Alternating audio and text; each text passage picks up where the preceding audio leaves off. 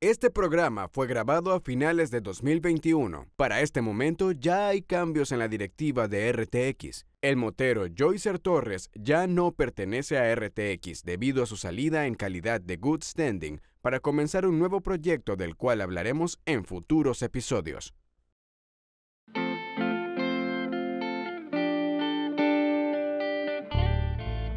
Triste o melancólico, con algo más de ritmo o rock and roll.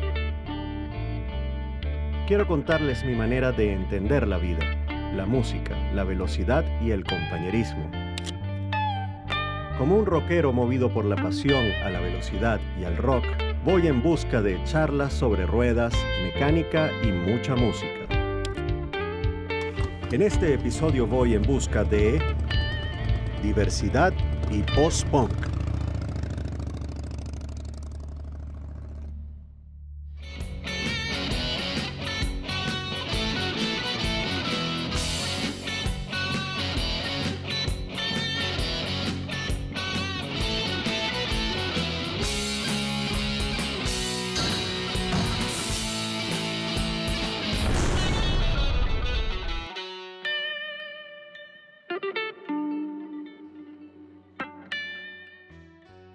En este programa de Entre Música y Motos tenemos a uno de los clubes más variados de la capital, RTX. Joseph, bienvenido. Gracias por la invitación. Bueno, cuéntame un poco los inicios de RTX. Bueno, fíjate, eh, RTX se funda el 30 de junio del 2012 específicamente. Eh, comenzamos como un grupo de amigos que viajamos, específicamente el primer viaje fue a, a la colonia Tobar, a Junquito, nos quedamos allá. Eh, literalmente fue un grupo de amigos que, que salieron a rodar. Eh, la semana teníamos ya un primer logo, esto ha tenido varias, varias facetas de cambio de, de- de los colores. Okay. Eh, comenzando como con una insignia de nosotros, luego volviéndose una familia, luego teniendo a un- una gran cantidad de, de miembros y después, bueno, haciendo un gran filtro para hacer una carrera a MC para este, lograr eh, hacer el reconocimiento ya nacional de los demás clubes a- que hacen vida en Venezuela. Muy bien. ¿Cuántos, ¿Cuántas personas, cuántos moteros están en, el, en RTX? Mira, actualmente, bueno, se encuentran 14 miembros, entre ellos están eh, 12 fulls y 2 prospects. Eh, ellos, eh, bueno, tienen, los prospects tienen un largo camino de un año y medio más o menos para demostrar eh, lo que es el amor a, a- a estos colores, a, a ganárselo, a llevar los parches, a, a llevar un full y deben demostrarlo. Ok. Eh, no tenemos esa costumbre, pues sucede en algunos clubes que, como le dicen, eh, los ponen a, a lavar moto, algo por el estilo, Ajá. pero por ahí van las cosas porque... Tiene que ganárselo. Tiene que ganárselo. Está bien, Es está bien. como a veces nosotros decimos, si tu hermano te pide el favor de que le das la moto porque te vas a poner bravo. Está bien, está bien. Bueno, mira, y cuéntame algo. eh, los colores eh, son Sí, bastante llamativos. llamativos. ¿De dónde sale, salen los colores? Mira, eh, RTX pasó por varias facetas. Eh, de por sí, lo podrán ver en imágenes, tenemos varios, va- va- va- la evolución que tuvo hasta llegar al- a este final, que es el amarillo neón.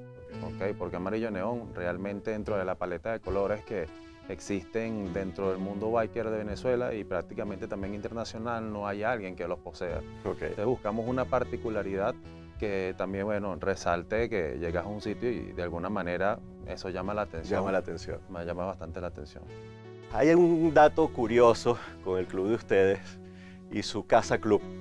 Este, cuéntame un poco de, de esa. Sí, bueno. De esa casa. eh, parte de, de- de nuestro dato curioso es que nuestra casa club realmente, eh, anteriormente en sus inicios, cuando fue construido, eran las primeras bóvedas de, de lo que eran los bancos, el Banco de Venezuela.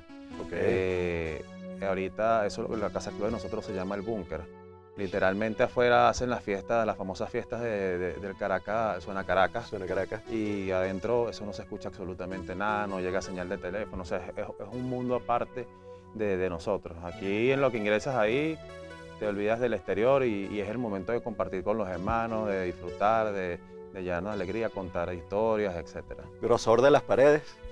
Mira, eh, de- realmente son de concreto armado como así de fuerte y, y prácticamente al no tener señal ya algo te dice que, está bastante El grueso. único motoclub que está preparado para una invasión zombie. Tal cual, literalmente.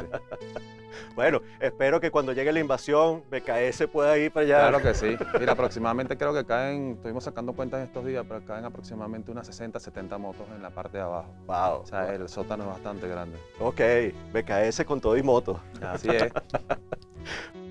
Bueno, Joyce, sigamos indagando en lo que es los viajes. Este, cuéntame un poco cómo son los preparativos para lanzarse tantos kilómetros. Sí. Mérida, Mérida no es aquí a la vuelta no de la esquina. mismo. Sí, bueno, eh, eh, a medida de los años eh, las cosas han ido cambiando, ¿no? El tema ahorita de la gasolina te pone a, a- a prepararte un poco más. Eh, tenemos clubes que precisamente por estos años que hemos estado viajando, hemos hecho en, ca- en cada locación y nos preparamos con ellos, le compramos gasolina, le decimos, mira, apártamela acá. Eh, tenemos un equipo, un vehículo de apoyo, un vehículo de apoyo, tenemos eh, el capitán de ruta, que es el que li- literalmente hace este trabajo, se encarga de ver dónde van a hacer las paradas, dónde vamos a comer, a qué hora vamos a salir, dónde vamos a repostar gasolina, eh, dónde vamos a, a- a- a desayunar, almorzar, cenar, colocar todos estos detalles de cómo hacerlo, sobre todo llevar hidratación, llevar efectivo, claro. muy importante. Mire, cada cuánto, o sea, ¿cuánto tiempo antes empiezan ustedes la preparación del, del viaje? Dependiendo del sitio donde vayamos, por ejemplo, si es un destino corto, pues está en las adyacencias de Caracas, prácticamente en dos días se hace eso. Si es un viaje un poco más largo, eh, ya se prepara con meses de anterioridad, hasta tres meses antes, ya tú empiezas a reunir. Obviamente, a mayor cantidad de kilómetros que tú vas, eh, tienes que llevar un poco más de dinero, hay que ahorrar un poco más y Claro, hay que ir preparándose. Hay que ir preparándose para un viaje porque eh, además preparar las motos, ¿no? Preparar las motos, claro está. Está bien. Bueno, señores, vamos a un corte y ya regresamos con más de RTX.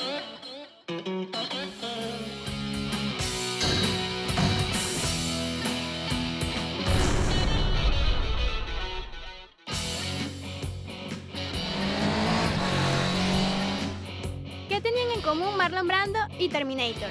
Que usaban botas. Y de ellas te hablaremos hoy en Dato Motero. Vayamos a Estados Unidos, allá por la década de 1820.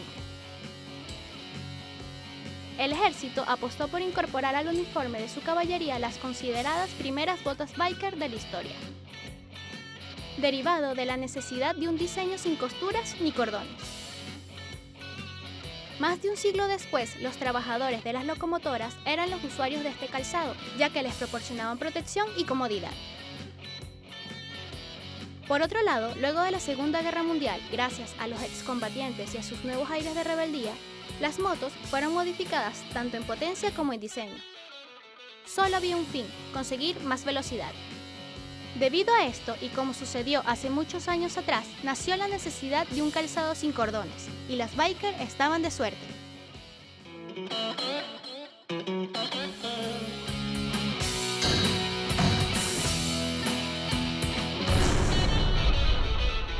Y seguimos entre música y motos con RTX.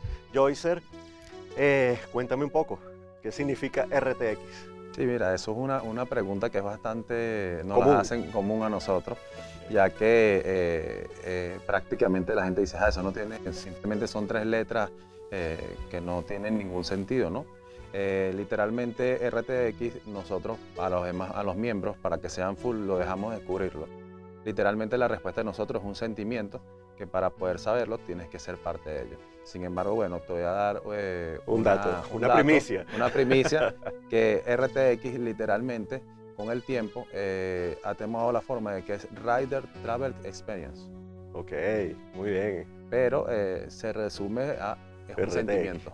Ok, perfecto.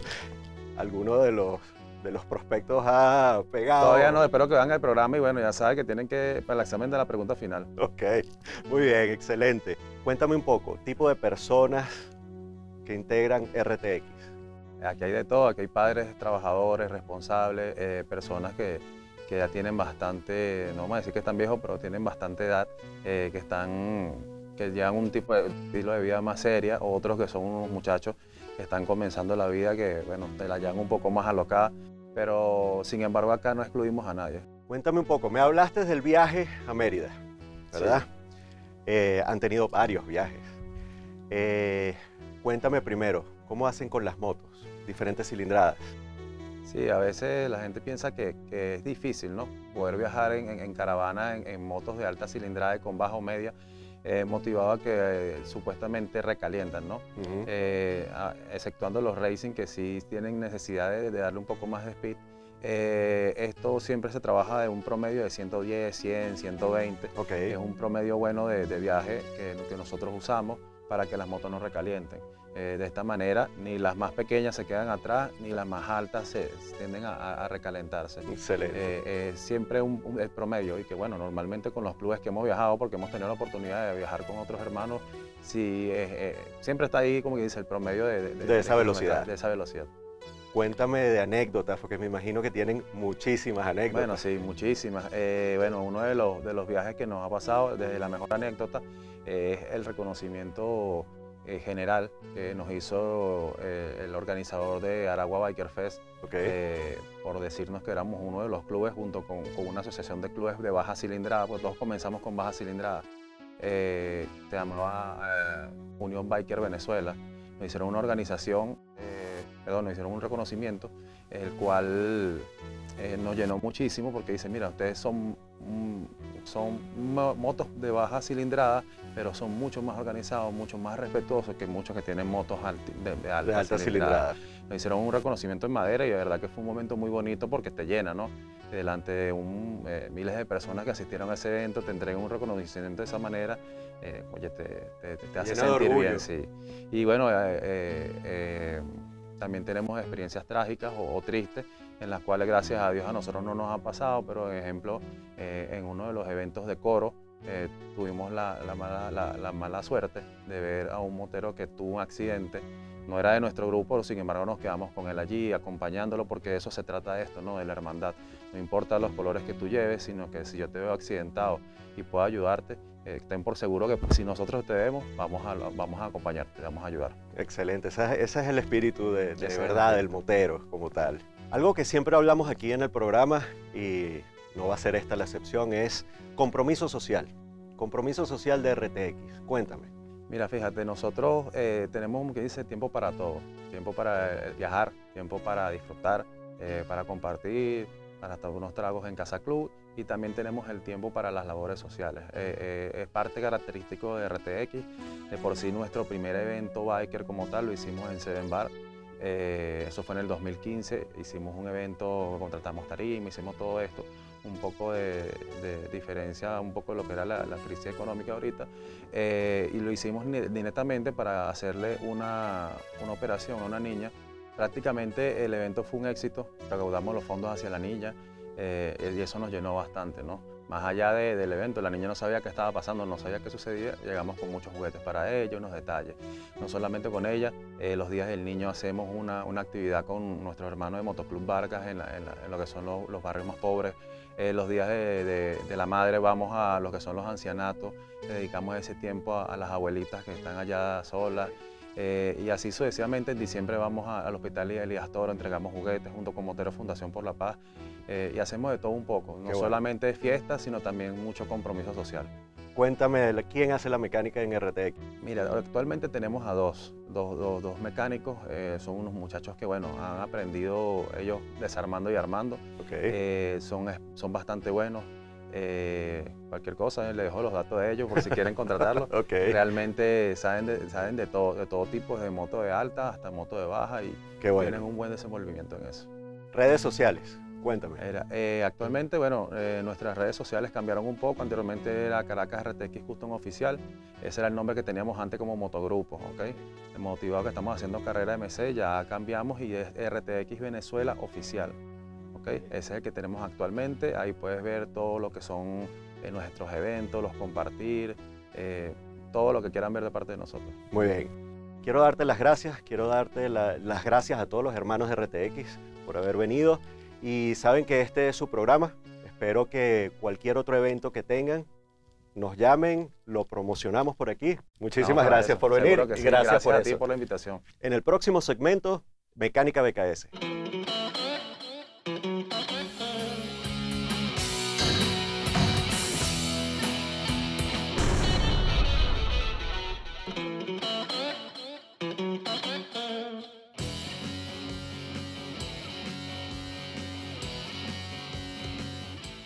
Si vas en la ruta y tus pastillas suenan al frenar, hoy en Mecánica BKS te enseñaremos cómo disminuir ese sonido.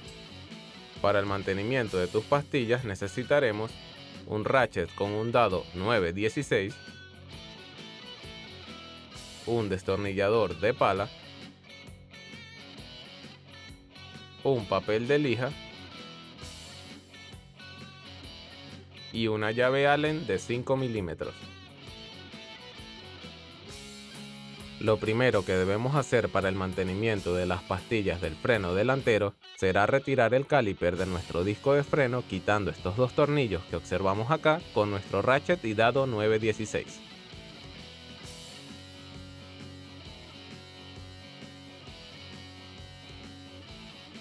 Ya al haber aflojado los tornillos que sujetan el caliper con la herramienta, terminaremos de retirarlo con una de nuestras manos mientras que con la otra sujetaremos el caliper para evitar que se caiga.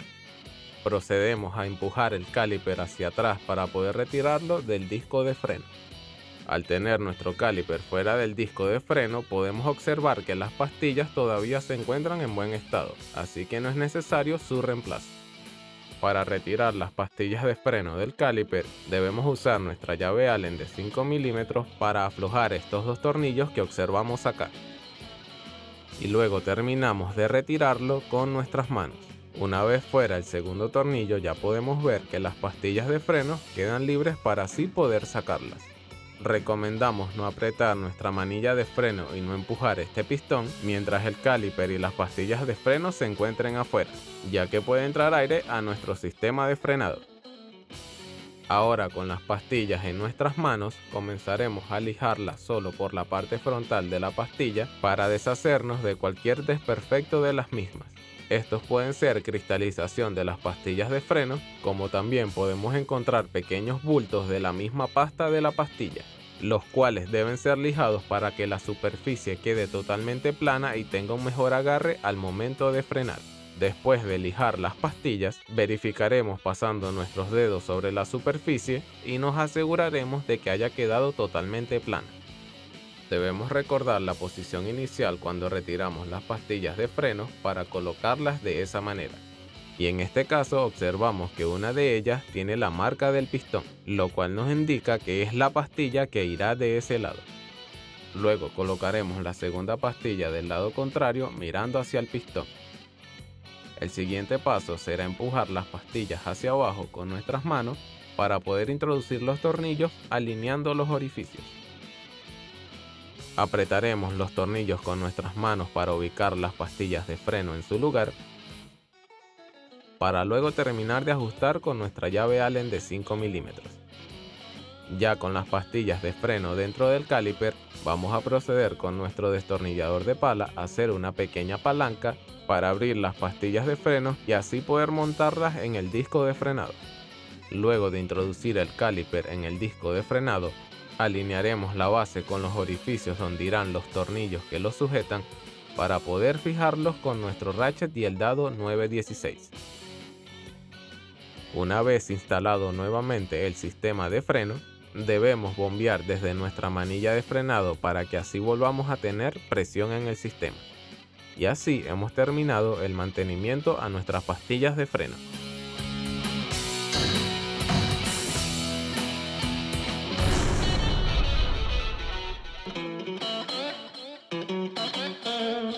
En el segmento musical de Entre Música y Motos tenemos a Carlos Rafael Sojo, es más conocido como el Brigadier. Bienvenido. ¿Estás? ¿Todo bien? Todo bien. Excelente. Bueno, bri- Gracias el Brigadier. De nada, de nada. Cuéntame tus inicios en la música. Bueno, este, yo empecé la música jovencito, tendría, no sé, 17 años. Tenía una banda que se llamaba Clavel Púrpura. Toqué un par de, dos, tres años con ella.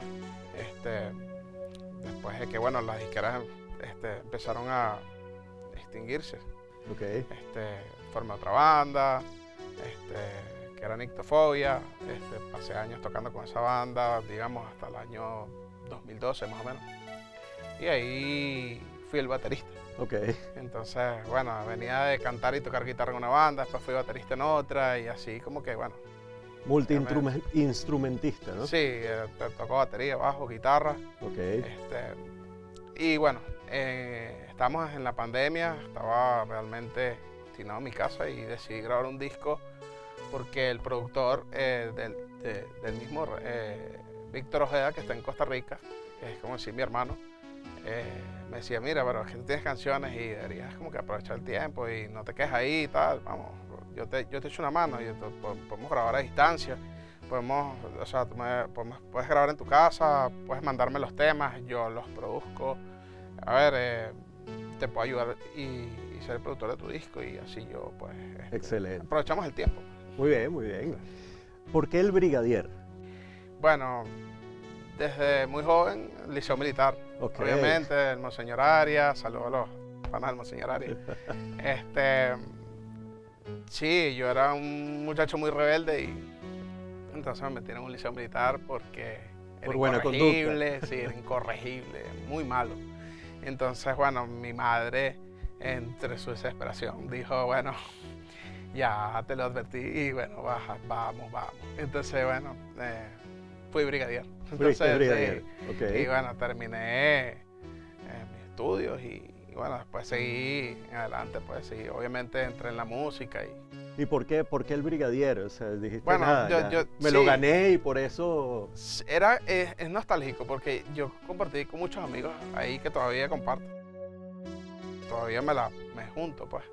Y digamos, eh, estaba buscando algo que fuera realmente mío, que extrañara de mi adolescencia, ¿no? Y, y entonces traerlo de nuevo acá y como hacer, como que nunca más se terminara, ¿no? O sea, como Ok. que y yo soy el brigadier y tengo que ser el brigadier siempre, ¿no? Siempre. Entonces, y, y fue divertido, ¿no? Porque, bueno, hicimos el disco, eh, tuve que grabar las eh, baterías, bajos, guitarras, todo con él y, a distancia, y es un trabajo bastante complejo, sobre todo si lo haces a distancia, ¿no? El nombre del disco. Eh, el disco se llama Destino Lunar, esa temática del astronauta, del espacio, y, Ok.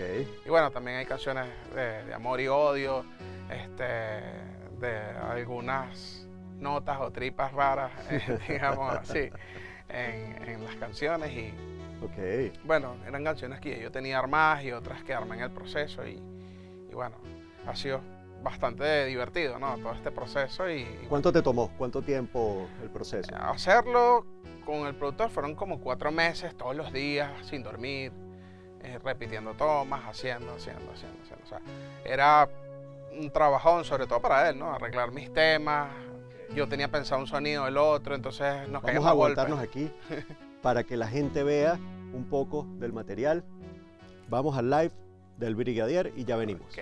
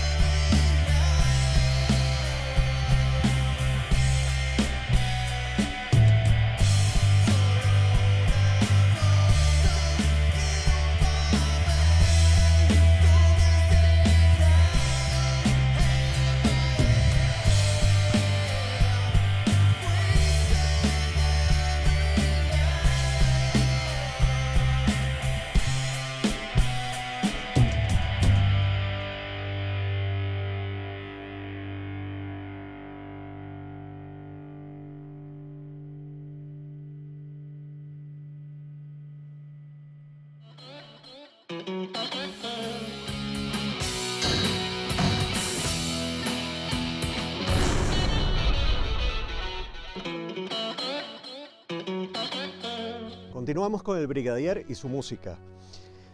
Cuéntame un poco de ese proceso de ida y venida de la música por internet. ¿Cómo fue eso? Ah, grabar a distancia es bastante complejo, ¿no? Porque no tiene a la persona al lado. Él le puede decir, mira, vale. Eh, no, eh, tienes que armar, tienes que hacer live ahí con la persona, estarlo viendo por una cámara web, o escribe, escribe y habla. Entonces es engorroso, ¿no? Pero bueno, de, de las anécdotas, eh, las armadas del lío a Víctor. eh, No, no me gusta, eh, sí me gusta, eh, súbele, vale, eh, no sé qué, mi voz, eh, todo, o sea, Y era el un tema iba y venía, iba y Y venía. venía por, este, por, por, por, por internet y entonces, bueno, fueron 400 veces por cada tema y él me lo mandaba y yo lo escuchaba y yo se lo regresaba. Y, y bueno, hasta que llegó un momento que el hombre se trasnochaba, pues, y hacía un trabajo, o sea, pobrecito, la verdad que yo le- le- lo quiero mucho porque de ¿Verdad? verdad que pobrecito.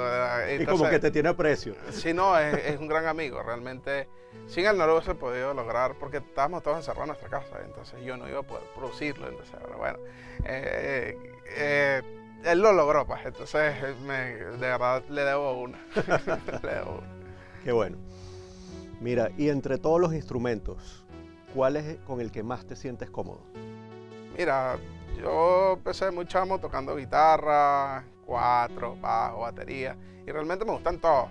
O sea, no, no es que tenga uno favorito, ¿no? Porque en el tiempo de mi vida he, he tocado varios. Y en el momento que siento que debo agarrar un instrumento, lo agarro y lo toco. Y creo que todos son fundamentales para poder hacer música. Perfecto.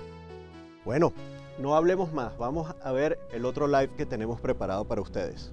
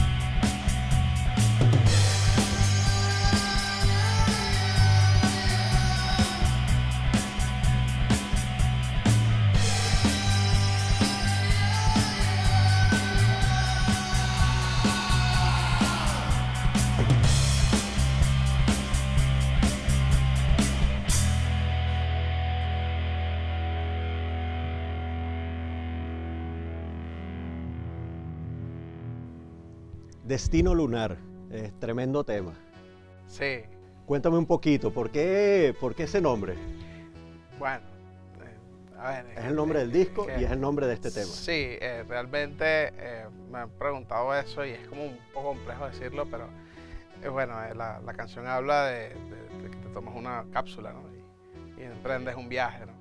Entonces, para no extenderme mucho, ya, ya, ya creo que entendimos el mensaje. ¿no? Exacto. Entonces, Ya no hay, no hay más nada de qué eh, hablar. Sí, Cuéntame un poco de los músicos que te acompañan. sí eh, mi baterista o el baterista del proyecto es eh, Gabriel Omaña, que bueno, causa de la vida conecté con él y Hicieron fusión. Sí, le gustó mi música, entonces mira, vos, tal, entonces empezó, desde, digamos, desde su casa a montar los temas y lo mismo pasó con Carlos Domínguez, eh, que es el bajista y jugueticos, entonces digamos, eh, eh, es un- un- era mi compañero de trabajo, ¿no? Este, que todos saben que soy Roddy también, entonces éramos, Ok. éramos Roddy, ¿no? Entonces este, estábamos en eso, entonces mira, tengo, este- tengo esto, hice esto, mira, ¿quieres? Ah, mí, qué fino. tal. O sea, Van agregando- van agregando Sí, el- el se, se metió en la banda. Y entonces, claro, eh, con Gabriel y con Carlos, pues es que he podido eh, a- hacer, porque obviamente No puedes yo tocar todos como los solista, pero no podía tocar todo. Y necesito los músicos, y entonces ellos son mis panas, mis hermanos, y, y me están apoyando con esto, y yo se lo agradezco en verdad, porque, a ver, este. Mm, tiene, tiene que ser personas que les guste tu música o que se la estén Y que la, y que la vivan. Sí, sí, que la, que la estén sintiendo, ¿no? Porque no todo el mundo va a aceptar ser músico de tu banda si, si no comulga pues con lo que tú estás haciendo. Bueno, el Brigadier, cuéntame, ¿cómo nos conectamos contigo? Mira, te puedes conectar a través de mi Instagram, el Brigadier Piso 90210, que es por donde me puedes localizar este momento. Y bueno, mi música está en las plataformas digitales. eh, Como en YouTube. Digamos, sí, YouTube, Deezer, Spotify. Próximamente en Backlife. eh, Backlife y bueno, este Qué bueno. un proyecto joven que está arrancando y, y esperemos que bueno, este, podamos hacerlo de provecho. Brigadier, muchísimas gracias. No, gracias verdad, a ustedes, de ¿verdad? por estar aquí. Toma en cuenta que esta va a ser tu casa de ahora en adelante. Gracias. Cualquier toque, cualquier evento, cualquier nuevo tema que tengas, que quieras promocionar, estamos aquí a la orden. Muchísimas gracias, de verdad. Súper complacido. Tristemente se acabó el viaje, pero nos vemos en una próxima oportunidad entre música y motos.